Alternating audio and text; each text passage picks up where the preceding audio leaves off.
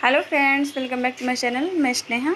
आज मैं आपसे अपने संडे की अपडेट देने जा रही हूँ, जो कि अपने गार्डन का ओवरव्यू मैं हर संडे देती रहती हूँ। तो यहाँ पर देखिए, सबसे पहले मेरा फ़र्स्ट में जो है, वो मोर पंख का प्लांट है, जिसे थूजा भी बोलते हैं।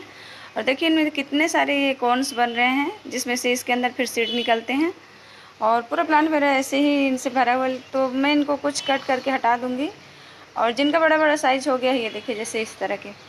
तो मैं इनको फिर सेव कर लूँगी तो इसमें से मैं फिर सीड भी आपको कलेक्ट करके दिखाऊँगी जब इसके सीड बन जाएँगे। और बहुत सारे बने, देखिए पूरे प्लांट में, और कितना ज़्यादा हेल्दी है मेरा प्लांट ये लगभग पाँच छः साल पुराना प्लांट है मेरा। और ये लगभग पंद्रह इंच के गमले में लगा हुआ है, ये एक ऑयल का कंटेनर था प्लास्टिक का, उसी में मैंने इसको लगाया हुआ है। और बहुत ही ज़्यादा ब्यूटीफुल दिखता है, ये देखिए बहुत ही खूबसूरत सा प्लांट मेरा, बिल्कुल बॉल की शेप पे बना हुआ है इसका आकार। और वीडियो में लास्ट तक बने रहिए। अगर वीडियो अच्छा लगे तो वीडियो को लाइक, शेयर, कमेंट ज़रूर करिए और मेरे चैनल पर नए हैं तो सब्सक्राइब भी कर लीजिए।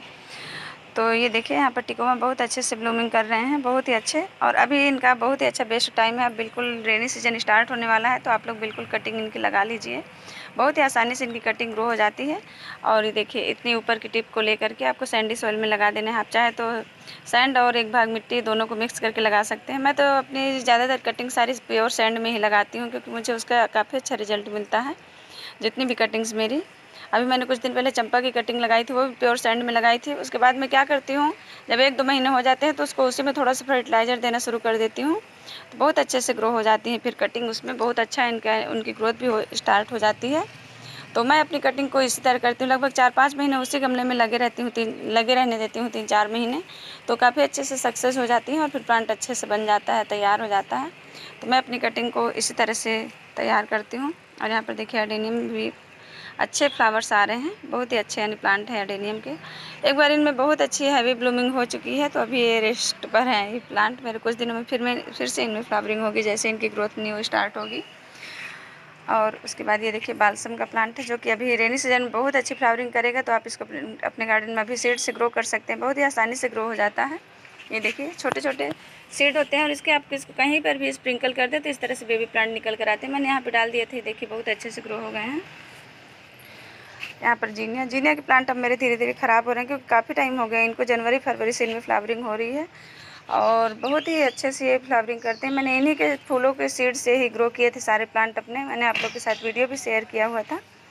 और यहाँ पर देखिए मिनीचर ही बिस्कस है, जो कि बहुत अच्छे ब्लूमिंग करते हैं। ये देखिए, बहुत ही सुंदर से फूल आते हैं इनमें। और बहुत प्यारे लगते हैं ये देखने में भी। तो आप इनके भी कटिंग लगा सकते हैं इस टाइम पे। यानी जब आपके यहाँ रेनी सीज़न स्टार्ट हो जाए, बारिश से स्टार्ट हो जाए। और यहाँ पर देखिए मेरे देसी हिबिस्कस हैं, गुड़हल यानी कि। बहुत ही अच्छे से इनमें फ्लावर्स आते हैं जिसमें फ्लावर्स नहीं आए ये देखिए रेड कलर के फ्लावर आते हैं इनमें। यहाँ पर मेरे सारे बिनका हैं, जिनको मैंने सीड से ग्रो किया है। और कुछ प्लांट मैंने इसमें से कटिंग से भी लगाए हैं। तो मैं इसकी भी कटिंग आप लोगों के साथ शेयर करूँगी लगाकर। बस थोड़ा एक दोबारे से हो हो जाएँगे, उसके बाद मैं इसकी कटिंग और सीड आपको ग्रो करके दिखाऊँगी। सीड अभी आप ग्रो कर सकते हैं, बहुत ही आसानी से इजली ग्रो हो जाते हैं एक हफ़्ते में। और बहुत ही अच्छे, यानी घर में तैयार हो जाते हैं प्लांट्स ये इधर कॉक्सकॉम के प्लांट है, ये भी सीड से अपने आप ही ग्रो होते रहते हैं मेरे गार्डन में। यहाँ पर देखिए मेरे सारे अडेनियम हैं, जो कि छोटे छोटे बेबी प्लांट हैं, जिनको मैंने कुछ को रिपोर्ट कर लिया, कुछ मेरे अभी भी उसी प्लांटर में लगे हुए हैं। और मेरे पास स्पेस कम थी तो मैंने एक ही गमले में बहुत सारे प्लांट लगा दिए हैं। और ये देखिए एक जेड प्लांट है। इसकी भी मैंने बहुत सारी कटिंग लगाई है, देखिए, बिल्कुल सैंड में लगा हुआ है मेरा प्लांट और मैंने थोड़ी सी इसमें कंपोस्ट मिलाई थी। और दो तीन कटिंग भी इसकी लगाई थी, ये कटिंग भी मेरी लग गई है। देखिए, यहाँ पे न्यू पत्तियाँ आनी स्टार्ट हो गई हैं। ये एक मैंने लेंटाना का प्लांट लगाया था, जिसके फ्लावर झड़ गए हैं और प्लांट काफ़ी अच्छे ग्रोथ कर रहा है। इसको मैंने पूरा इसकी रूट बॉल को खोल दिया था तो बिल्कुल भी स्ट्रेस में नहीं गया है। प्लांट बिल्कुल हेल्दी है एकदम से। और यहाँ पर देखिए सारे बिनका हैं। एक ऑक्सकॉम है। और बहुत ईजली इसके सीड यहाँ पर बनते हैं ये देखिए यहाँ पर। और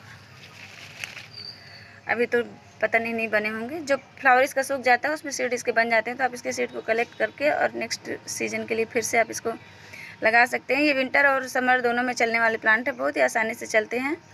और हाइब्रिड विंड का भी देखिए यहाँ पर ऐसे सीड पॉट बनते हैं ये देखिए।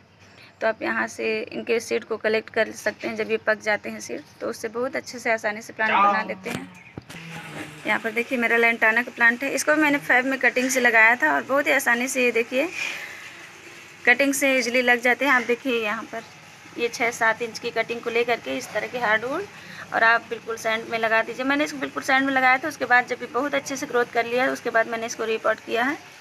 मैं उसी में थोड़ा फर्टिलाइज़र डालती रहती हूँ बीच बीच में तो काफ़ी अच्छी ग्रोथ करते रहते हैं प्लांट इसी तरह से मैं अपनी कटिंग तैयार करती हूँ कोई भी।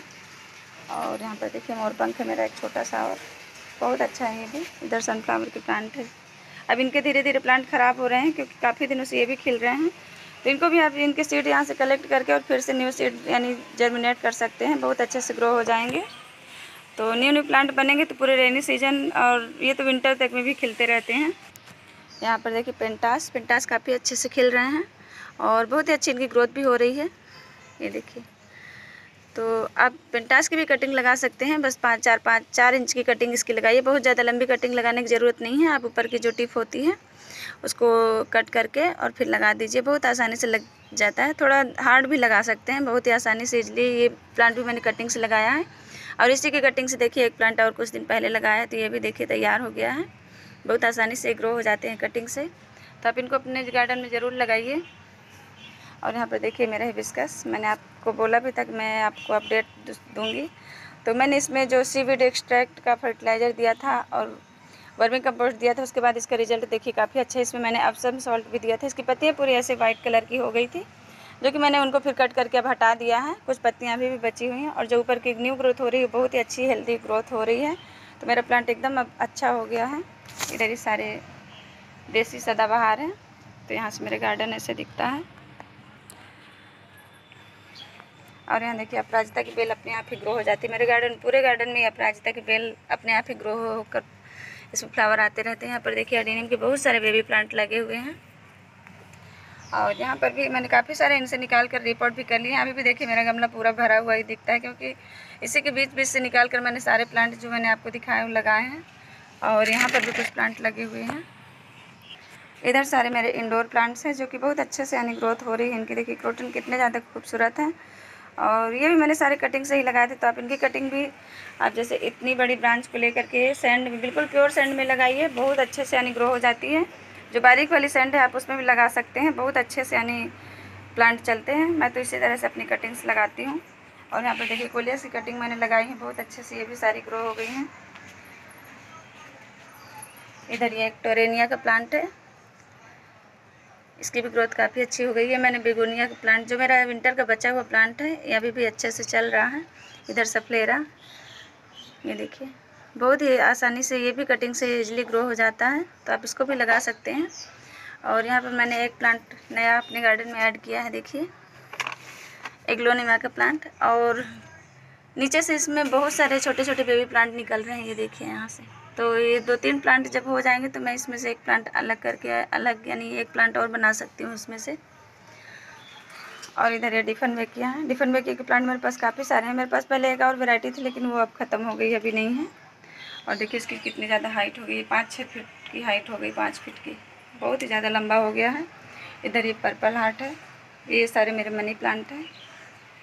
और एक प्लांट यहाँ पर मेरा इंसुलिन का प्लांट है जो कि डायबिटीज़ में इसकी पत्तियाँ काफ़ी यानी फ़ायदे करती है। सुबह सुबह अगर आप एक पत्ती इसकी खाते हैं तो ये काफ़ी अच्छा यानी होता है। यहाँ पर मैंने वाइंडिंग जिम की कुछ कटिंग्स लगाई हैं। इधर मेरे सारे ये अरेका पाम है जो कि बहुत ज़्यादा ब्यूटीफुल है और तो बहुत ही अच्छा यानी प्लांट है मेरा। और काफ़ी ज़्यादा दिन हो गए इसको लगाए, लगभग पाँच छः साल का प्लांट हो गया और देखिए कितना ज़्यादा ग्रीन और कितना ज़्यादा खूबसूरत है, बहुत ही ज़्यादा ब्यूटीफुल है। और एक बड़े से बकेट में मैंने इसको लगाया हुआ है। अब इसकी फिर से रूट बाउंडिंग हो गई होगी, क्योंकि काफ़ी दिन हो गए, काफ़ी दो तीन साल हो गए इसको मुझे इसमें भी ट्रांसप्लांट किए। और यहाँ पर देखिए मैंने कुछ पर्पल हार्ट की वाटर में कटिंग रखी थी। मैं आपको दिखाती हूँ। देखिए। कितनी ज़्यादा ग्रोथ स्टार्ट हो गई है और बहुत ही लगभग एक हफ़्ते भी नहीं हुआ है इसको रखे हुए और इतनी ज़्यादा इसकी रूटिंग स्टार्ट हो जाती है तुरंत तो बहुत ईजली है कटिंग से लगाना पर्पल हार्ट को, बहुत ही आसानी से लग जाता है। और यहाँ पे देखिए मेरे क्लेडियम के कुछ प्लांट लगे हैं, जो कि बहुत ही ब्यूटीफुल दिखते हैं। इनके पत्तियों के लिए इनको लगाया जाता है, बहुत ज़्यादा खूबसूरत दिखते हैं। यहाँ मेरे कुछ सकलेंट के प्लांट हैं सकलेंट है और मैंने इनको अपने गार्डन में नया ऐड किया हुआ है। यहाँ पर देखिए दो बेबी प्लांट भी निकल कर आ गए हैं लीप से। और कुछ लीप मैंने और रखी हुई है। देखती हूँ ये ग्रो होंगे या नहीं होंगे, पता नहीं। यहाँ पर पैडी लेंथस ये ड्रेसिना ये क्रोटन जो कि बहुत अच्छे से ग्रो हो रहे हैं। मैंने इनको बिल्कुल इंडोर ही रखा हुआ है। यहाँ पर कोलियस है यहाँ पर एक लीफा का प्लांट है। इधर सारे अरेलिया के प्लांट लगे हुए हैं मेरे, जो कि बहुत ज़्यादा खूबसूरत दिखते हैं। और बहुत बड़े बड़े से तो मैंने इनको कुछ को प्रून कर दिया है। यहाँ पर देखिए एक बालसम का प्लांट है। रेड कलर के फ्लावर बहुत ही ज़्यादा खूबसूरत से फ्लावर आते हैं। ये बारिश में बहुत ज़्यादा अच्छे से खिल ये कॉस्मस का प्लांट है और येलो कलर के फ्लावर्स आते हैं इसमें, ये देखिए इस तरह से। तो काफ़ी अच्छे यानी ग्रो हो जाते हैं यहाँ पर। देखिए मिर्च का प्लांट भी अपने आप ही ग्रो हो गया। मैंने इसको लगाया भी नहीं और कितना अच्छा हेल्दी प्लांट है। यहाँ पर इसी तरह टमाटर के प्लांट अपने आप ग्रो हो जाते हैं और देखिए कितने अच्छे टमाटर लगे हुए हैं। कुछ तो पक भी गए हैं। ये देखिए। तो ये अपने आप ही ग्रो होते रहते हैं मेरे गार्डन में। यहाँ पे रोज़ में देखिए, नई ब्रांच आकर नई नई कलियाँ भी आनी स्टार्ट हो गई हैं। ये देखिए। इधर ग्लाडिया में काफ़ी अच्छी फ्लावरिंग हो रही है। बस इनके प्लांट अब देखने में अच्छे नहीं लग रहे तो मैं इन सबको हटा दूँगी अब बारिश में। और यहाँ पर मेरे हिबिस्कस बहुत ज़्यादा खूबसूरत होते हैं और सुबह टाइम इतने ज़्यादा खिले रहते हैं तो काफ़ी सारे इनमें भगवान जी में भी चढ़ा दिया जाता है। और बहुत अच्छा लगता है इनके फ्लावर, इन बहुत ही खूबसूरत दिखते हैं। देखिए, पूरे प्लांट में फूल ही फूल हैं। आज रेड कलर में मेरे ज़्यादा फ्लावर्स नहीं आए। कल तो इतने सारे आए थे, मैं कल वीडियो भी बनाने वाली थी, लेकिन फिर मैं टाइम नहीं मिला मुझे। और ये देखिए यहाँ पर, पूरा ये हिबिस्कस है। और सनफ्लावर के प्लांट अब धीरे धीरे ख़राब हो रहे हैं। देखिए छोटे छोटे से फ्लावर इनमें आ रहे हैं। यहाँ पर देखिए, ये फ्लावर भी बहुत खूबसूरत है। देखिए, इनके फ्लावर को भी कोई कट कर रहा है। ग्रास ऊपर का इतना ज़्यादा अटैक हो रहा है, पता नहीं आप लोग के यहाँ बचा हुआ है कि नहीं, मेरे यहाँ तो बहुत ज़्यादा यानी अटैक हो रहा है। और ये देखिए, कितनी सुंदर इसमें नई न्यू ब्रांच आई है, रोज में और इसमें एक कली भी निकल कर आई है। और क्रिसेंथीमम को मैंने कुछ प्रून कर दिया है, इसकी न्यू न्यू जब कटिंग्स निकलेंगी तो मैं उनको सबको अपने गार्डन में ग्रो करूँगी कटिंग से प्लांट लगाऊँगी। तो क्योंकि अभी इसमें कलियाँ आ रही थी और फ्लावरिंग भी हो रही थी तो मैंने सबको कट कर दिया है। कुछ अभी और देखिए, इनमें भी कलियाँ अभी भी बची हुई हैं। इधर देखिए चंपा चंपा काफ़ी अच्छे से ग्रो हो गए हैं। बस इसमें अभी तक फ्लावरिंग नहीं हुई है। और एक प्लांट में मैंने, मेरे फ्लावर आने स्टार्ट भी हो गए हैं, ये देखिए, यहाँ पर। बहुत अच्छे से, यानी बहुत ज़्यादा तो फ्लावरिंग नहीं कर रहा है, एक दो फूल रोज आते हैं इसमें। और डहेलिया को मैंने जो ऊपर की ख़राब ब्रांच थी, उन सबको कट कर दिया है, ये देखिए यहाँ से। तो इसमें न्यू न्यू जो ब्रांच आ रहे हैं, इसमें थोड़ा सा फंगीसाइड का स्प्रे भी कर दूँगी ताकि जो इसकी ब्रांच है वो उसमें फंगस वगैरह ना लगे। और तो मैं इसी से फिर अपनी कटिंग्स भी तैयार करूँगी डहेलिया की और बहुत ही आसानी से इसकी कटिंग भी ग्रो हो जाती हैं।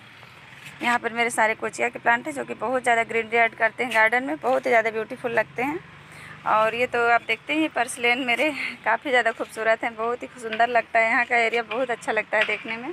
इनके फ्लावर्स की वजह से। एक ही कलर के फ्लावर, लास्ट ईयर मेरे पास तीन कलर के फ्लावर थे पर्सलेन में, और पोर्चुलाका में भी काफ़ी सारे थे। और ये देखिए, ये मैंने पीवीसी पाइप में लगा के रखा हुआ है। आपको मैं एक अपना गार्डन में मैं आज खुद उसको देख के सरप्राइज़ हूँ बिल्कुल तो मैं अभी आपको दिखाऊँगी। और ये देखिए कैना लिली में बहुत अच्छे फ्लावर्स आ रहे हैं। और यहाँ पर ये डबल चांदनी, बहुत अच्छे से ग्रो हो रहा है, बहुत अच्छे यानी फ्लावर्स आते हैं। इसमें देखिए, बंच में ऐसे कलियाँ आती हैं। और यहाँ से देखिए बिस्कस बहुत ज़्यादा ब्लूम्स हो रहे हैं। और ये वाला प्लांट मेरा चंपा का लगा हुआ है।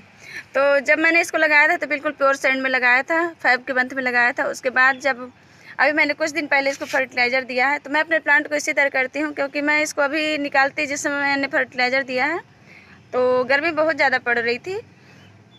इसलिए मैंने इसको ऐसे ही रहने दिया, क्योंकि सैंड में लगे हुए प्लांट को रिपोर्ट करने में थोड़ा सा ऐसी प्रॉब्लम होती है कि अगर हम उसको प्लांट को निकालते हैं तो पूरी रूट बॉल खुल जाती है। तो फिर मैंने उसको उसी में फर्टिलाइज़र दे दिया है और वो धीरे धीरे काफ़ी अच्छी ग्रोथ कर लेगा और फ्लावरिंग भी करेगा तो मैं आप लोग के साथ ज़रूर शेयर करूँगी। तो मैं अपनी जितनी भी कटिंग लगाती हूँ, पहले मैं उसी में उसको मैच्योर हो जाने देती हूँ अच्छे से, ताकि प्लांट काफ़ी अच्छा हेल्दी हो जाए और जब खूब अच्छे से ग्रोथ कर लेगा तो फिर मैं उसको फिर अलग से रिपोर्ट करूँगी। तो मैं जितनी भी कटिंग ग्रो करती हूँ, अपने गार्डन में इसी तरह से करती हूँ। और आज इस कनेर में तो फ्लावर नहीं आए हैं, ये वाला ये वाला देखिए, कितना ज़्यादा ब्यूटीफुल कलर है और इसमें दो कलर के फ्लावर्स होते हैं जो कि कल तो बहुत ज़्यादा खिले थे। तो जो सरप्राइज़ है वो मैं आपको दिखाती हूँ। मुझे खुद यकीन नहीं था, मुझे लगा था यहाँ पर देखिए विनका के बहुत सारे प्लांट ग्रो हुए थे।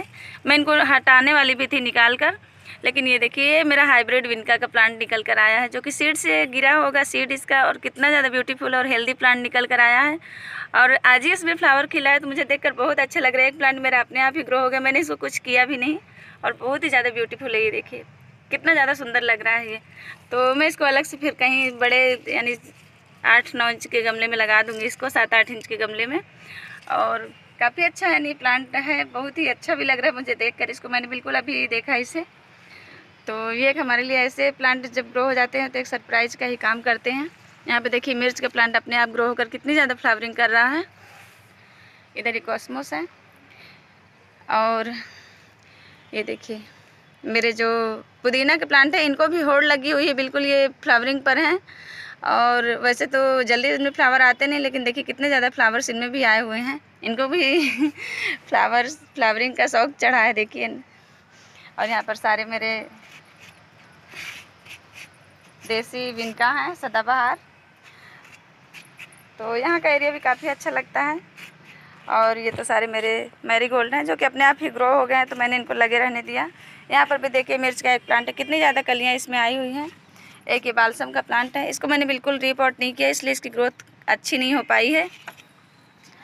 यहाँ पर मैंने पोई साग की कटिंग लगा दी थी, ये देखिए, कितने अच्छे से ग्रो हो गई हैं। और थोड़ा सा इनमें न्यूट्रिएंट्स की कमी दिख रही है, देखिए, बिल्कुल मैंने ऐसे ही लगा दिया था, पड़ी हुई थी मेरे यहाँ, सब्ज़ी के लिए आई थी तो।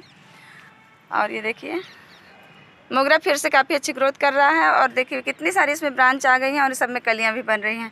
तो ये अभी पूरी रेनी सीज़न बहुत ज़्यादा फ्लावरिंग करने वाला और ये देखिए ग्रास ऊपर बहुत ज़्यादा ग्रास ऊपर का अटैक है इस समय मेरे गार्डन में और मैंने अभी तक कोई स्प्रे भी नहीं किया है इंसेक्टिसाइड का। तो मैं, अब मुझे करना पड़ेगा क्योंकि बहुत ज़्यादा पत्तियों को नुकसान कर रहे हैं ये। और यहाँ पर ये देखिए रेड कलर के फ्लावर्स तो बस फ्रेंड्स आज के लिए इतना ही। यहाँ पर देखिए मेरा मैक्सिकन पिटूनिया जो कि बहुत ही ज़्यादा फ्लावरिंग सुबह टाइम इसमें इतने ज़्यादा फ्लावर्स आए रहते हैं। अभी देखिए इनके फूल मुरझाने लगे हैं। बहुत ज़्यादा हीट यानी थर्ड फ्लोर पर बहुत ज़्यादा हीट हो रही है। और ये रेनी सीज़न में काफ़ी ज़्यादा खूबसूरत दिखते हैं। बहुत ज़्यादा फ्लावरिंग करते हैं देखिए बंच भी कलियाँ, इसमें कितनी ज़्यादा ढेरों कलियाँ आई हुई है। तो इस तरह से मेरे गार्डन में चल रहे प्लांट तो बस फ्रेंड्स आज के लिए इतना ही। अगर वीडियो अच्छा लगा हो तो वीडियो को लाइक शेयर कमेंट ज़रूर करिए। और मेरे चैनल पर नए हैं तो सब्सक्राइब भी कर लीजिए। और प्लीज़ बेल आइकन को भी प्रेस कर दीजिए ताकि आपको मेरी आने वाली वीडियो की नोटिफिकेशन मिलती रहे। Thank you friends bye